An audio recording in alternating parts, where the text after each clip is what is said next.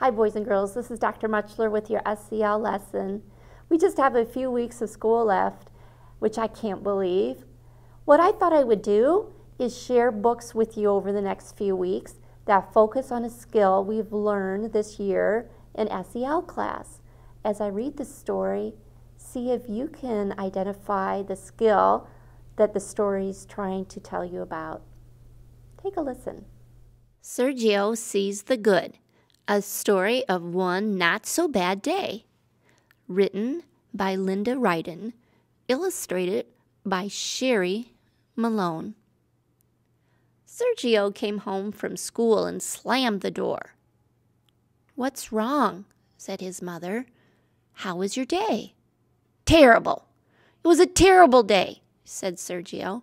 I dropped my lunch tray and my food went everywhere. He threw his backpack onto the floor. It was a completely awful day. Are you sure the whole day was terrible? his mom asked. Why don't we make sure? Huh? said Sergio. How? Go get the scale from the high shelf. You know, the old one that belonged to your grandfather. What for? asked Sergio. You'll see. And bring me that jar full of marbles from your room, said Mom mysteriously.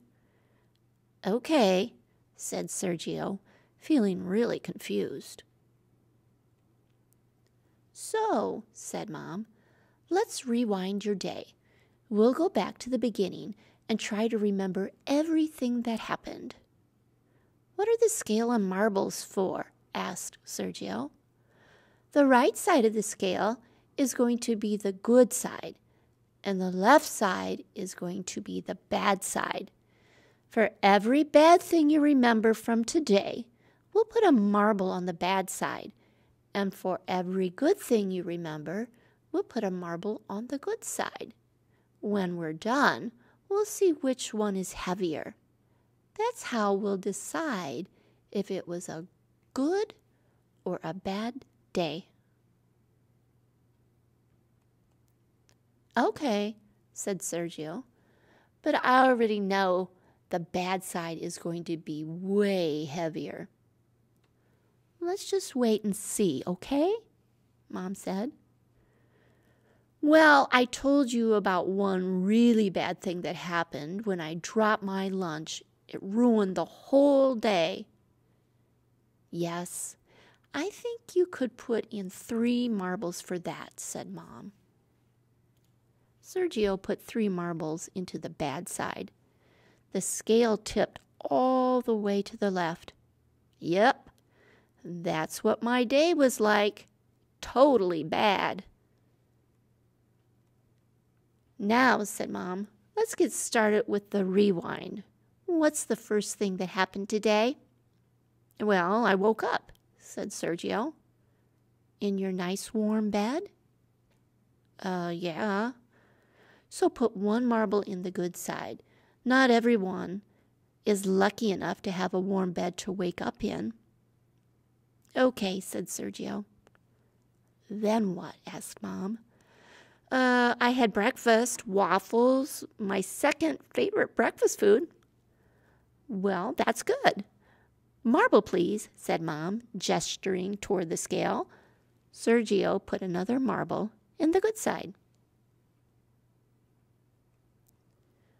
Then I played basketball with Henry before school and made a three pointer.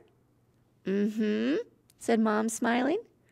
I know. Marble, please, said Sergio, smiling just a little. But then some older kids came over and took the basketball, he said. That was definitely not good. Okay, then put another marble in the bad side, said Mom. Then what happened? We were supposed to have a math test, but it was postponed. That's definitely good. Sergio dropped another marble in the good side. And next? That's when the whole day was ruined, said Sergio. I was walking over to the lunch table and I dropped my tray. It was a huge mess. Peas went rolling everywhere and kids laughed at me. Oh dear. It was so embarrassing. You could put an extra marble in the bad side for getting laughed at, said Mom. So then what happened? asked Mom. Did you clean it up by yourself? Well, no. Henry and Joab and Tayaja helped me clean it up. And then Mr. Howell, the custodian, came over with the big broom. He wasn't mad at all. He's really nice. So, where does the next marble go? Good side, I guess, said Sergio. People were pretty nice to me. But you didn't have any lunch, said Mom. That's bad. She reached over to put a marble in the bad side, but Sergio stopped her.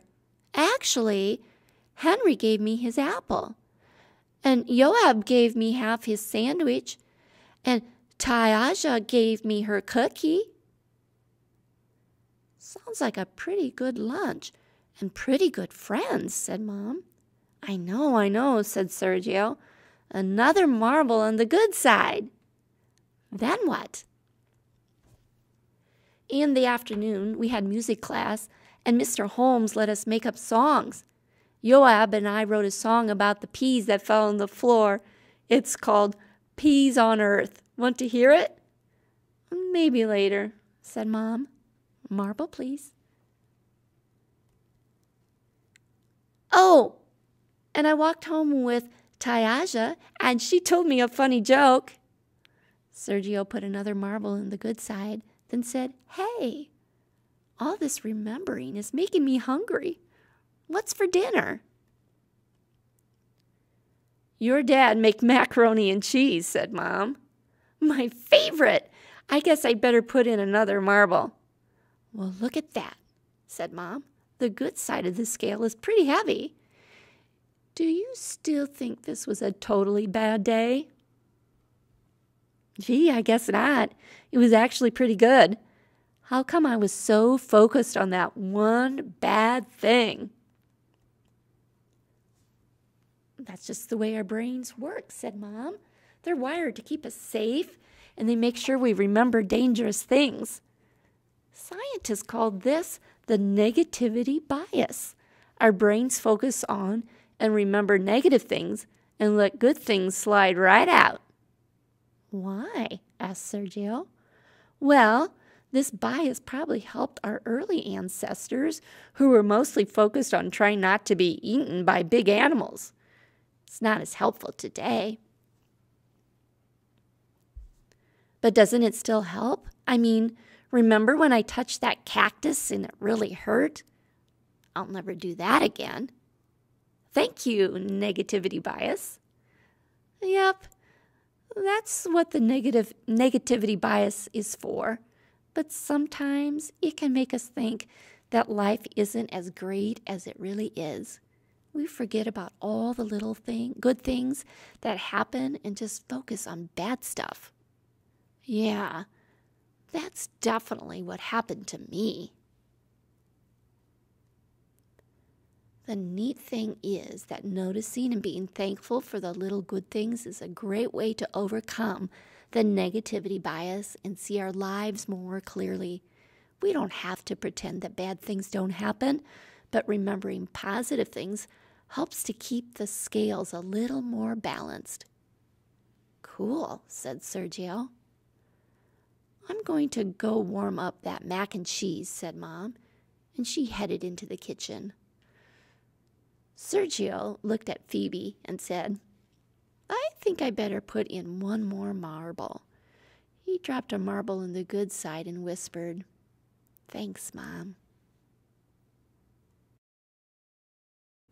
Boys and girls, I hope you enjoyed the story, and I, I really hope that you found this whole thing called the negativity bias interesting. It helps me remember to try to balance my day when some bad things happen. So just remember the negativity bias is when we focus on and remember painful, embarrassing, or threatening experiences more than the positive ones. When Sergio was pricked by that cactus, His brain filled the memory in a don't forget this drawer to prevent him from touching a cactus again. The negativity bias, it's helpful that way.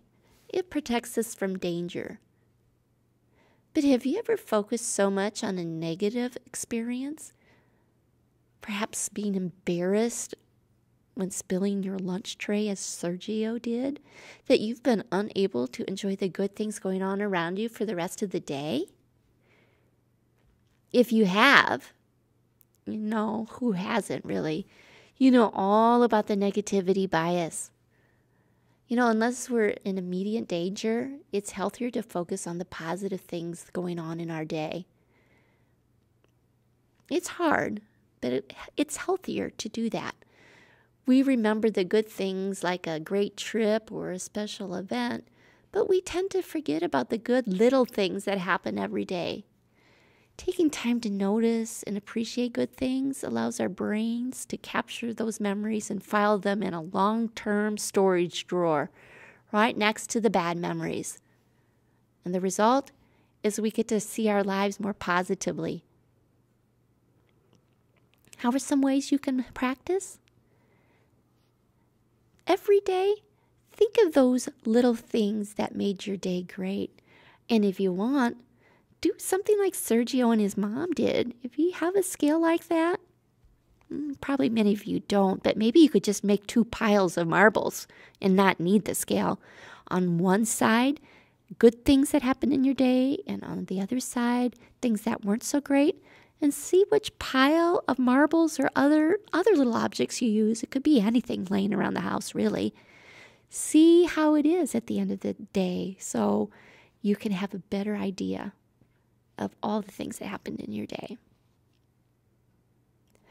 I will uh, share another book with you next week about some topic we've learned throughout the school year. But until then, if there's any questions you need, me to answer or, you want me to give you a call, please email me at lmuchler at byron226.org. That's all for today. See you next week. Bye.